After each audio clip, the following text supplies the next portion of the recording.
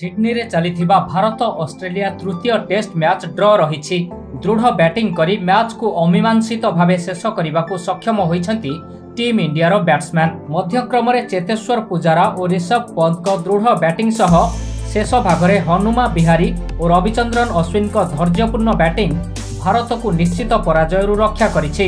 Match ଚାଲିଥିବା ବେଳେ ଦଳର ଏକାଧିକ ଖେଳାଳି ଆହତ ହେବା ସହ ବର୍ଣ୍ଣ ବୈଷମ୍ୟବାଦର ଶିକାର ହେବା ସତ୍ତ୍ୱେ କଙ୍ଗାରୁ ଦଳକୁ ଦୃଢ଼ ଜବାବ ଦେଇଛି ଭାରତ। ମ୍ୟାଚ୍ର ଚତୁର୍ଥ ଦିନରେ ରୋହିତ ଶର୍ମା ଓ ଶୁଭମନ ଗିଲ୍ ଦଳକୁ ଭଲ ଆରମ୍ଭ ଦେବା ସହ ଆଉଟ୍ ହୋଇଯାଇଥିଲେ।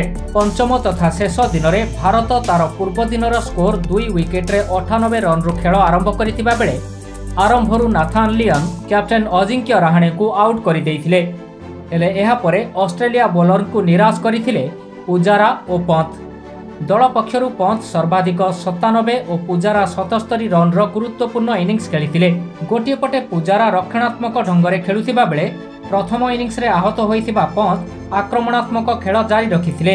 ଉଭୟ ଚତୁର୍ଥ ୱିକେଟ୍ ପାଇଁ ଶହେ ଅଡ଼ଚାଳିଶ ରନ୍ର ଶତକୀୟ ଭାଗିଦାରୀ କରିଥିଲେ ଯାହା ନିର୍ଣ୍ଣାୟକ ସାବ୍ୟସ୍ତ ହୋଇଥିଲା।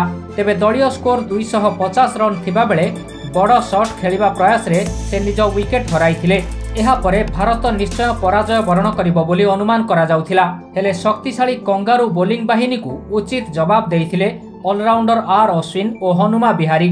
ଉଭୟ ଷଷ୍ଠ ୱିକେଟ୍ ପାଇଁ ବୟାଳିଶ ଦଶମିକ ଚାରି ଓଭର ବ୍ୟାଟିଂ କରି ବାଷଠି ରନ୍ କରିବା ସହ ମ୍ୟାଚ୍କୁ ଡ୍ର କରିବାରେ ସଫଳ ହୋଇଥିଲେ। ବିହାରୀ ତେଇଶ ଓ ଅଶ୍ୱିନ ଅଣଚାଳିଶ ରନ୍ କରି ଅପରାଜିତ ରହିଥିଲେ। ଏହି ଯୋଡ଼ିକୁ ଭାଙ୍ଗିବା ପାଇଁ ଘରୋଇ ଦଳର ବୋଲରମାନେ ସବୁ ରଣନୀତି ଆପଣାଇଥିଲେ ମଧ୍ୟ ବିଫଳ ହୋଇଥିଲେ। ଅଷ୍ଟ୍ରେଲିଆ ପକ୍ଷରୁ ହେଜେଲଉଡ୍ ଓ ଲିଅନ୍ ଦୁଇଟି ଲେଖାଏଁ ୱିକେଟ୍ ନେଇଥିବା ବେଳେ କମିନ୍ସ ଗୋଟିଏ ସଫଳତା ପାଇଛନ୍ତି। ଏହି ଟେଷ୍ଟ ମ୍ୟାଚ୍ର ପ୍ରଥମ ଇନିଂସରେ ଅଷ୍ଟ୍ରେଲିଆ ତିନିଶହ ଅଡ଼ତିରିଶ ରନ୍ କରିଥିବା ବେଳେ ଭାରତ ଦୁଇଶହ ଚଉରାଳିଶ ରନ୍ କରି ଅଲ୍ ଆଉଟ୍ ହୋଇଯାଇଥିଲା। ଅଷ୍ଟ୍ରେଲିଆ ଦ୍ୱିତୀୟ ଇନିଂସରେ ଛଅ ୱିକେଟ୍ରେ ତିନିଶହ ବାର ରନ୍ କରି ଭାରତକୁ ଚାରିଶହ ସାତ ରନ୍ର ଟାର୍ଗେଟ୍ ଦେଇଥିଲା। ଏହି ବିଶାଳ ସ୍କୋରର ପିଛା କରି ଭାରତ ପାଞ୍ଚ ୱିକେଟ୍ ହରାଇ ତିନିଶହ ଚଉତିରିଶ ରନ୍ କରିବା ସହ ମ୍ୟାଚ୍କୁ ଅମୀମାଂସିତ ଭାବେ ଶେଷ କରିଛି। ସିରିଜ୍ର ଚତୁର୍ଥ ତଥା ଅନ୍ତିମ ଟେଷ୍ଟ ମ୍ୟାଚ୍ ଆସନ୍ତା ପନ୍ଦର ତାରିଖରୁ ବ୍ରିସ୍ବେନ୍ରେ ଆରମ୍ଭ ହେବ। Bureau report Sunstar TV.